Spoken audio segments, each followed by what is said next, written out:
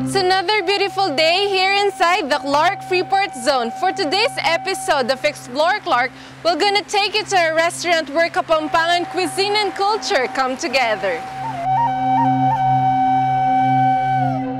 The restaurant is called Matam-i, which means delicious in Aita dialect. My name is Angela Ninang, your Miss Clark 2015. Come and join me as we are about to have another gastronomic experience only here in Matam-i, authentic Kapampangan cuisine. Bayri ikaw na!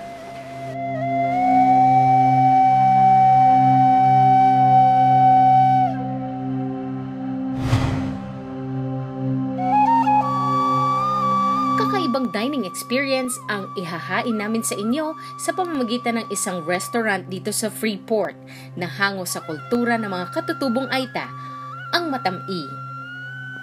Bentahin ng Matam-i ang authentic na lutong kapampangan mula betute tugak o stuffed fried frog, beringhe, adobong pusit, kare-kare at marami pang iba. Bukod sa mga katakam-takam na pagkain, tiyak ring ma-enjoy ng bibisita dito ang mga private gazebos at alfresco dining. Samahan pa ng mga native na bihis ng lugar at mga empleyado dito. Sir, can you tell us more about bakit Matam-i yung pangalan ng restaurant natin? Ah, matami po kasi. Ah, ang meaning po nito ay masarap. Ah, lengguwahe nito ay nanggaling po sa mga Aita. Ngayon po, yung mga nagtatrabaho po dito sa amin sa restaurant, ah, dahil po puro mga Aita sila, yung lengguwahe po nila ang ginamit namin. Sa kanila din po nanggaling yung pangalang matami. Ang ibig masa- ah, sabihin po sa atin ay masarap. Bakit nga po Aita yung mga kinuha niyo, sir?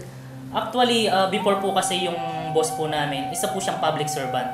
So, naisip niya po kung paano makatulong sa mga kababayan nating Aita na before po kasi hindi nabibigyan ng pansin sa mga ganitong ah, trabaho. So, ngayon nakaisip po yung may-ari kung paano niya ah, mabibigyan ng trabaho ang mga katulad nila. So, nagpatayo po siya ng isang ganitong business para po sila ang magtrabaho po dito, dito o mabigyan sila ng break sa ganitong mga trabaho. Mm. So, balita ko po, maliban sa nagsaserve sila, showcase din nila yung talent nila, tama Yes. ba? Ayan. Ano yung mga ginagawa nila dito para ano? Like, nag-peppercorn po sila pagkatapos ng kumain yung mga guests namin dito, yung mga Aita songs po nila, kinakanta nila dito, Wow. at pasayaw-sayaw din po sila para lalong ma-attract at magaganahan at masayahan yung guests namin dito bago sila umuwi, madam. Tsaka lahat ng function na hall namin dito, madam, tsaka yung mga gazebo namin dito, ipinangalan sa lugar nila, like Oh. Sitio Tarukan, Sitio Pilyen, Sitio Yeyang, at Sitio Taliktik, ma'am. Okay. Kaya kapag ka po nakapasyal po kayo dito sa Matami, parang nakapasyal na rin po kayo sa mga kabundukan po ng Kapas. Opo. Kasi po yung Kapas, isa po yan sa mga bulubundukin po na lugar. Wow, napakagaling naman. At sarap malaman ng mga yan. Bakit Clark? Sa Clark tayo nagtayo ng Actually po kasi ang Clark, ah, isa po yan sa mga sentro ng kalakalan dito po sa Pampanga. So ibig sabihin po, kapag ka sentro ka ng kalakalan, maraming tao. So dito nila naisip magtayo ng ah, business kasi po ah, iba't ibang tao na po yung nakakasalamuha mo dito sa Clark eh. Mm. So, sa mga ano nyo po, restaurant dito sa Clark, ano po yung kinaangat ng Matam-i? Ang kinaangat po namin sa karamihan po dito, unang-una yung pong lasa ng pagkain, yung quality, serbisyo po ng mga staff po namin. Ah, nakikita nyo po, kahit na po Aita po sila, well po yung mga ah, talent po nila sa pag-serve po. Then po yung price po namin. O, may pagmamalaki po namin sa buong Clark na affordable po yung price po namin. Kaya kung ah, yung mga tao po, isang grupo po sila, ah, subukan nyo pong pumunta po dito sa Matam-i para po mapatunayan po ninyo yung ah, sinasabi po namin na affordable na price po And namin. good service.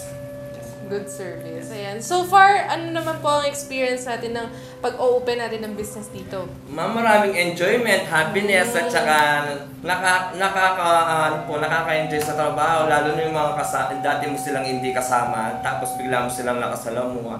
Nakakasipag magtrabaho, yun po. Okay. Tsaka isa pa po yung natututuhan mo yung kultura ng mga Aita. Sa history naman po, ano, kailan po ba, gano'n nakatagal yung Matam-i? Kailan siya nag-open? May 15, 2014, ma'am. Magto 2 years na po kami. Two years. Opo. Okay.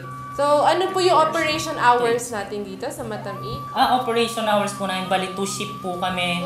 Starting po kami ng 7 a.m. po. Wow. Ah, then hanggang 1 a.m. po kami.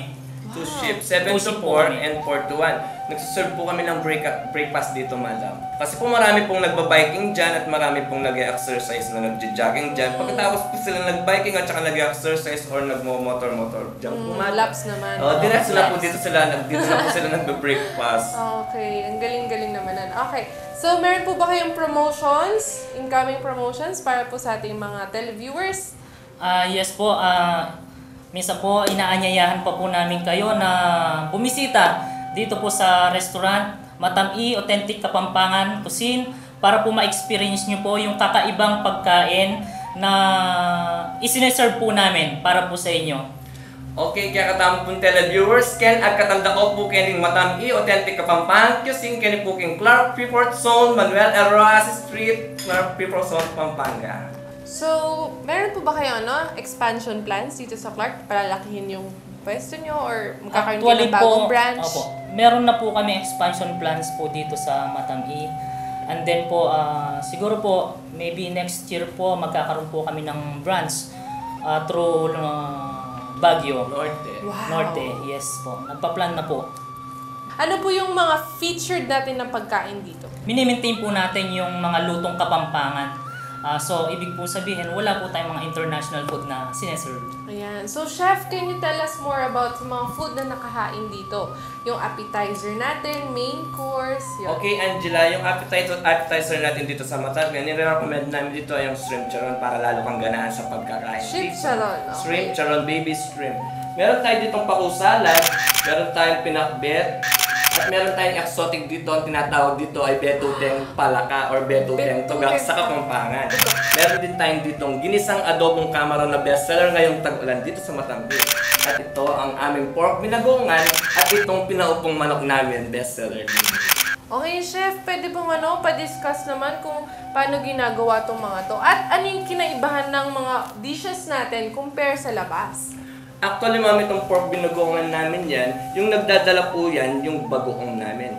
Um, iniluluto po namin yung bagoong namin dito, 2 to 3 hours po. So, yung pong pork belly namin dito, yan po, binuboil namin po siya, make sure na ito po ay tender, malambot. At pagkatapos po, konting deep fry lang po para maging golden brown. At doon na po iginigisa doon sa bawang sibuyas kamatis. Importante po sa pagkain yung pagigisa. Dahil doon mo po nakukuha yung lasa ng pagkain. Alright. At yung pong bagoong namin dito ang nagdadala dyan sa pork binagoan. Kaya po naging homemade, no? best seller po. Okay. Ito naman, yung sinigang natin. Um, ito po yung tinatawag namin sinigang sa patani. Patani. Bule-baluga kung tawagin dito sa Matangin. Kaya namin pong tinawag na bule-baluga yan ma'am dahil yung mga staff namin dito dahil sila ang aita. Um, tinawag namin bule-baluga yan. Yung patani ma'am, naka-free cook na po yan 3 hours kasi po matigas po yan ma'am. Pag lumambot na po yan, hinahalo na po namin sa sinigang sa patani, lumalapot po yung sabaw. Nagiging bestseller po yan lalo na ngayong tagulan madam. Mm-mm. Magkano naman yung ganyan? So, Ay ma'am, okay affordable price, 225 pesos lang yan. Oh. Good 3 to 4 person na po yan ma'am. Okay, very good. Ito naman yung gulay nyo, yung with Pinakbit. Opo. Yan. Mm-mm. Paano naman Um, yan piniprepare? natural pinakbit lang po yung sinaserve namin dito, ma'am. Sinusutay lang po namin sa sapatis at saka sinasogan namin ng fried lang po. Okay, so ang mga kakain nyo talagang maranasan nila parang lutong bahay na Yes. Yes, ma'am. Pinapat- pinapanatili po namin dito yung pagka-natural ng lutong kapampangan. Alright. Kumbaga ma'am, wala kaming sikretong recipe na inahalo sa, pang, sa mga pagkain po namin. Yung pako naman po natin. Yes, ma'am. Masarap po itong pakusalad namin dito. Um, siniserve with special vinegar sauce po, ma'am. Meron po siyang boiled shrimp, meron po siyang salted egg, onion, at saka tomato. At saka yung pako namin po dito, fresh, natural fresh po talaga. Kaya talagtal po king kapampangan. Kaladkad. So, ito naman, syempre, yung exotic. Yan po yung exotic bestseller po yan talaga dito sa Madami. Yan po ang tinatawag na betuten tuga. Mhm. Stuffed with torta. Okay, so may torta sa Sa loob. loob Yes. po. So, yung, ito namang pinaupong manok na parang nakatayo. Pinakulo namin po yan sa daon ng tanglad, tsaka seasoning or soy sauce. Um, make sure na bago namin po niluluto yan, talagang naka-boil po sa Tapos tinutusok po namin yan hanggang sa buto para yung lasa ma'am naluluwag hanggang buto. Okay, di, ito naman, sir. Yan po yung appetizer namin, beef shrimp, shrimp charon. Yes ma'am. Ito po ay sinaserve namin. Parehas ba yan ng mga hipon sa palengke? Yes ma'am, Yes, palas ma'am, palas lang. Maliliit. Ito po kasi yung mga hipon na ito, yung nakukuha sa sa ano sa ilog. Okay. Yung maliliit, yung native. Mm-mm. At ito, pato. Yung, na- yung ginasang adobong kamaro. Okay. Um, um, nakamarinate na po siya, naka-adobo na po yan sa suka at saka toyo. Oh, okay. Um, and then ma'am, sinusutay namin siya, konting seasoning. Yan, yan ang pong So, wala na siyang tangy, or- Wala na pong Ah, ibang wala. mga Oh, no, hindi. nilalagay pa. Basta Okay. natural lang po. At syempre itong juice nyo na kanina ko pa... Tamarind shake Tamarind and native iced tea dito sa Tangi, ma'am. Tamarind Tamarind shake. shake, ma'am. Ito, talagang fresh po ito. Ah, Wala Fresh? pong halong chemical yan. Alright. Then po yung ah, native iced tea po namin, ito rin po sariling gawa po ng matam ito. Ah, wala rin pong halong ano to. ah, Binubrew nyo daw to? Yes, binubrew po namin yan. Mm. Pinapakulo namin mabuti. So dito nyo lang to mata- matitikman. Yes, At definitely, magkano naman ang drinks na ganito? Bottomless. Partner, our ano. Ay, ito pong ating native iced tea, bottomless na po yan. I- ah, 110 pesos. At same din po siya sa tamarind shake. Alright. Experience why it is more fun in the Philippines and why Pampanga is the culinary capital of the Philippines as well. So, all that here in Matam-i, where authentic Kapampangan cuisine is promised and well served.